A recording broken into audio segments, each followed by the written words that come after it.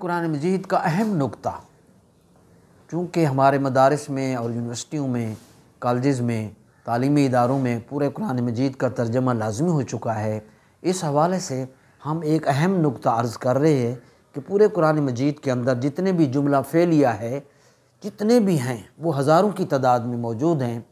उनमें जब हम ट्रांसलेट करते हैं, जब हम तर्जमा करते हैं तो ये फ़ाइल की तीन हालतें उसमें मरकज़ी मरकज़ी किरदार अदा करते हैं। फ़ाइल गायब होगा तो उसकी छः हालतें। और हम उसको गायब का नाम देते हैं। हम तफसील बता चुके या फ़ाइल हाजिर होगा या फ़ाइल मुतकलम होगा। जब गायब होगा तो उनका तर्जमा होगा। जब फ़ाइल हाजिर होगा तो तुम का तर्जमा होगा। और जब फ़ाइल मुतकलम जमा होगा तो हम का तर्जमा होगा। पूरे कुरान करीम का तर्जमा में जुमला फ़ेलिया का जब हम तर्जमा करेंगे, फ़ाइल गायब, वो हाजिर, तुम और मुतकलम हम। अब मैं तीनों की मिसालें दे रहा हूँ, ताकि हमारे तलबा जब भी किसी भी जुमले का जब तर्जमा करें और उनको ये मालूम हो जाए कि यहाँ फ़ाइल गायब है तो उस हिसाब से तर्जमा करेंगे। जब हाजिर होगा तो उस हिसाब से फ़ाइल, और जब फ़ाइल मुतकलम होगा तो उस हिसाब से we have to translate in देखिए अब, मैं आपको गायब की मिसालें इकट्ठी दे रहा हूँ ताकि उस पैटर्न को हम समझ लें। जब फ़ाइल गायब होता है तो तर्जमा हम उसका करते हैं गायब के हिसाब से। मसलन, इसी सूरह बकरा में अल्लाह पाक ने जो इरशाद फरमाया, युमिनूना, युकीमूना, युनफ़िकूना, यूकिनूना। ये सब जुमला फ़ेलिया है और यहाँ फ़ाइल जमा मुजक्कर गायब है। मसलन जो मेनूना वो सब ईमान लाते हैं।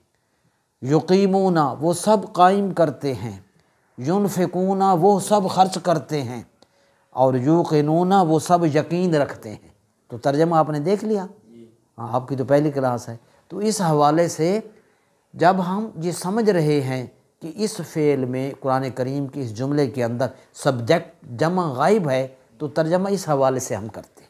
एक मिसाल, अब हम नेक्स्ट हाजिर की मिसाल दे रहे हैं, कुरान करीम से दे रहे हैं कि जब फ़ाइल गायब नहीं होता, फ़िक्रा बदल जाता है, उसकी फॉर्म चेंज हो जाती है, फ़ाइल उस वक़्त हाजिर होता है। उसका तर्जमा हम करेंगे तुम का। अगर वाहिद होगा तो तू का, जमा होगा तो तुम का। अब मैं तीन फ़िक्रे कुरान शरीफ से अर्ज़ कर रहा हूँ कि जहाँ अल्लाह पाक ने तीन फ़िक्रे हैं, इकट्ठे ही हैं। उन तीनों के अंदर फ़ाइल गायब नहीं है, वो नहीं है। फ़ाइल हाजिर है। ठीक है जी? मैं मिसाल दे रहा हूँ। कुरान शरीफ में चौथे सिपारे में अल्लाह पाक ने इरशाद फरमाया, कौन तुम खैर उम्मतिन? हजूर की उम्मत को बरह रास्त खिताब किया। ये भी उस, इस उम्मत का एजाज़ है, हजूर के सदक़े में कि अल्लाह ताला बरह रास्त हजूर की उम्मत से खिताब करता है। कौन तुम खैर उम्मत? तुम सारी उम्मतों में से बेहतरीन उम्मत हो।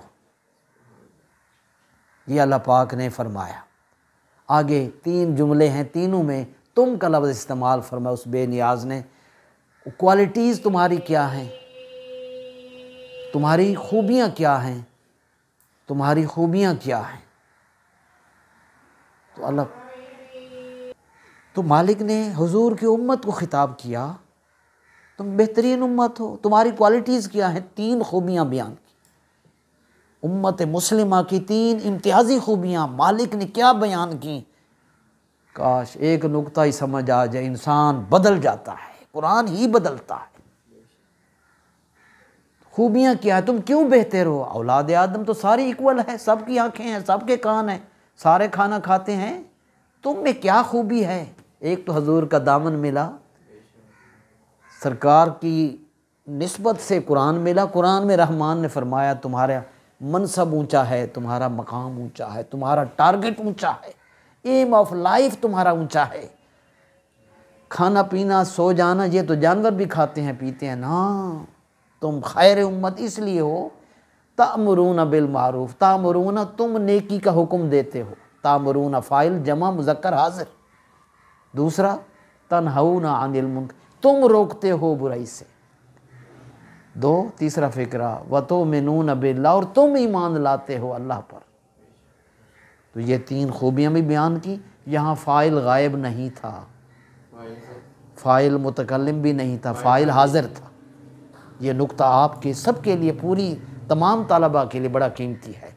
कि कुरान करीम में जब भी गुफ्तु होगी, तर्जमा वी हैव टू ट्रांसलेट जब भी ट्रांसलेट करने लगेंगे फ़ाइल गायब होगा, मिसालें गुजर चुकी। या फ़ाइल हाजिर होगा, ये मिसालें हैं। अब हम फ़ाइल मुतकलम की मिसाल दे रहे हैं। कुरान करीम में बेनियाज ने एक मकाम पर सूरह ताहा में इरशाद फरमाया, ज़मीन के हवाले से। भला उस्तादों का जिन्होंने कुरान हिफ्स करवाया था, अल्लाह उनके हमेशा हमेशा दर्जात बुलंद फरमाए, और भला माँ बाप का उन्हें इस काम पे लगाया और उस्तादों ने हमें इल्म पढ़ाया। मैं आपको तीन मिसालें दे रहा हूँ, कट्ठा फ़िक्रा है, उसके अंदर फ़ाइल ना तो गायब है, ना फ़ाइल हाजिर है, बल्कि फ़ाइल क्या है मुतकलम है। ठीक है जी? अब देखें, कुरान शरीफ में मालिक ने इंसानों को फरमाया, ये यूनिवर्सल एड्रेस है, पूरे इंसानों को, कोई रब को माने या ना माने, क्राइटेरिया ये है कि मिनहा खलक नाकुम मिनहा खलक नाकुम हमने तुम्हें इस ज़मीन से पैदा किया। वो तुम नहीं है, किसने? हम। फ़ाइल क्या है? जमा मुतकल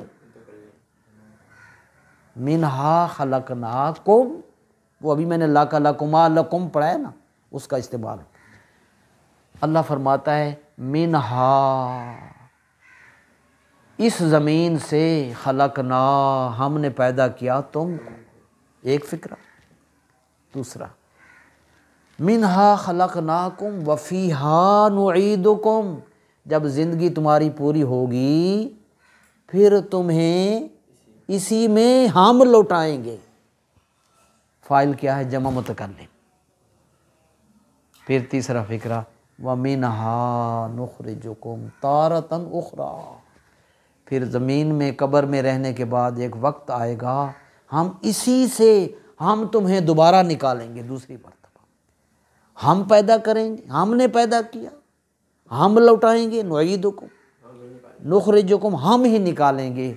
तो फ़ाइल ना गायब है, ना हाजिर है, बल्कि फ़र्स्ट पर्सन है मुतकलम है, जमा मुतकलम तो ये एक अहम नुक्ता है, हर तालब इल्म, हर मुसलमान जब भी कुरान मजीद की किसी भी आयत का जुमला फेलिया का तर्जमा करने लगे तो वो सबसे पहले उसको इवेलुएट कर ले उसकी पहचान कर ले, उसको अच्छी तरह जाँच ले कि फ़ाइल कौन सा है। गायब है तो तर्जमा गायब का। हाजिर है तो तर्जमा हाजिर का। मुतकलम है तो तर्जमा मुतकलम का। अल्लाह ताला इस नुक्ते को समझने की तोफ़ी कता फरमाया